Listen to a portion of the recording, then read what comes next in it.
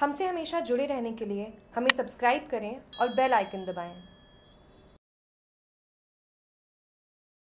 शुक्रवार पाली पहुँचने के बाद नवनियुक्त पुलिस अधीक्षक राहुल प्रकाश ने शनिवार सुबह पुलिस अधीक्षक कार्यालय पहुंचकर विधिवत कार्य ग्रहण कर लिया। इस मौके पर ज़िले के अतिरिक्त पुलिस अधीक्षक ज्योति स्वरूप शर्मा मौजूद थे। कार्य ग्रहण करने के बाद उन्होंने शर्मा से ज़िले की कानून व्यवस्था के बारे में जानकारी ली।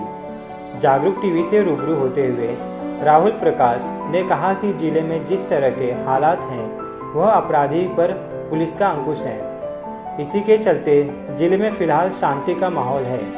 उन्होंने कहा कि अपराध व तस्करी जैसी घटनाओं पर अंकुश लगाने को लेकर वो भी ज़िले की पुलिस के साथ गंभीरता से काम करेंगे।